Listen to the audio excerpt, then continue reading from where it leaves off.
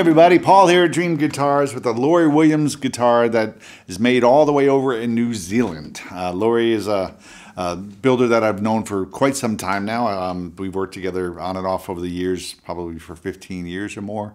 Um, a really nice maker, and again, being from New Zealand, uh, one of his specialties is using New Zealand wood. So his guitars immediately have kind of a rarity to them because the woods are only available over there, as you'll see in a moment.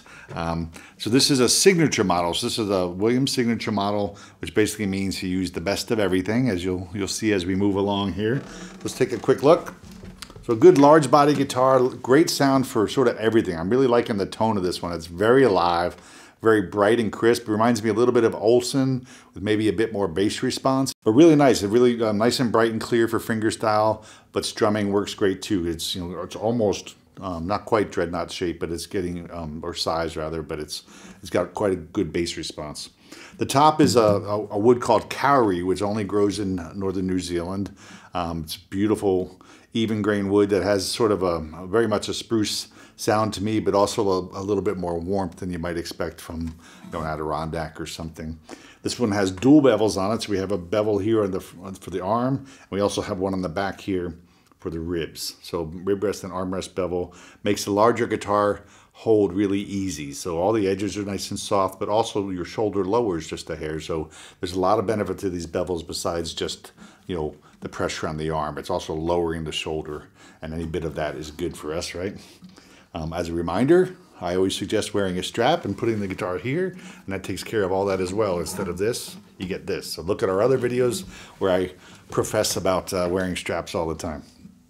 All right, a couple other really cool custom things on this guitar. The rosette is carved. It's got a beautiful etching all the way around. It's really lovely and fine and delicate.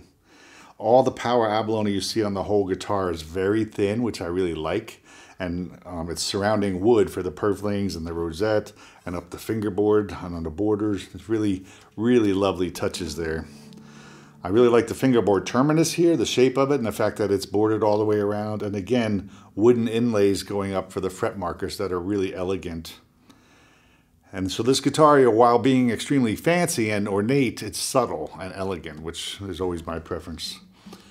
The Laurie Williams headstock, very pretty. Again, a local wood for the neck, very strong and sturdy.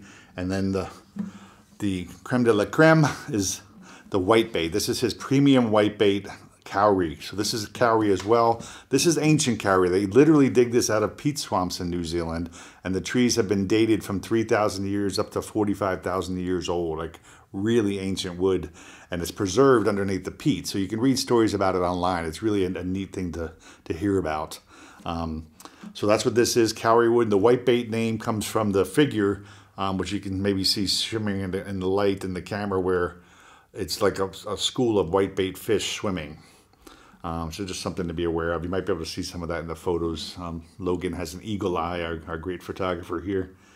Um, I also like the way the cutaway comes up even to the neck heel. That's a nice touch. Um, just a beautiful guitar every way you look at it. And again, tonally, very responsive, very alive. This, this is one that'll cover a lot of territory, whether you're a finger picker or a flat picker, you're gonna enjoy this one. So the Laurie Williams signature model, let's give it a spin.